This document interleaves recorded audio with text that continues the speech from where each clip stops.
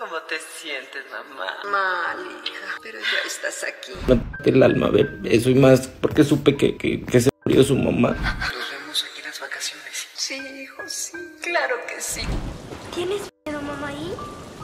Desafortunadamente el mundo de la actuación y el doblaje mexicano vivió una gran pérdida luego de que se diera a conocer la noticia de la pérdida de la vida de la querida actriz Nelly Horseman. Pero ¿quién era Nelly Horseman?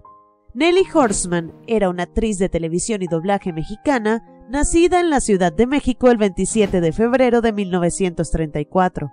Desde muy pequeña ella tuvo interés en la actuación y eso derivó a que a sus 36 años de edad se iniciara en el mundo del doblaje, el cual sería además su principal profesión y pasión años después. La actriz inició su trayectoria artística en los años 70, con algunas participaciones que serán definitivamente recordadas a lo largo del tiempo, incluso desde su retiro desde el año 2008.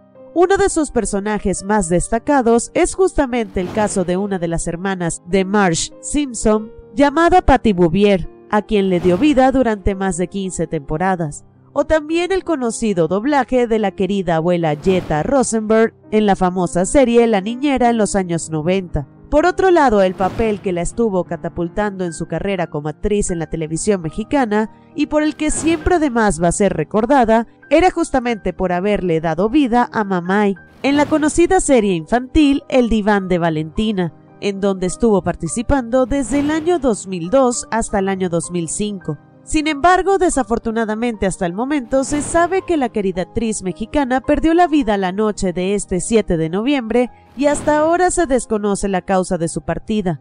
Sabíamos que contaba con 88 años de edad y sus compañeros y grandes amigos lamentaron su partida y recordaron el legado que ella dejó en el mundo del doblaje mexicano y también en la actuación. Nelly tuvo recordadas participaciones durante su larga trayectoria artística, siendo incluso la más reciente la del personaje de Carlota en la serie de Televisa Vecinos, justamente la que interpretó antes de su retiro en el año 2008.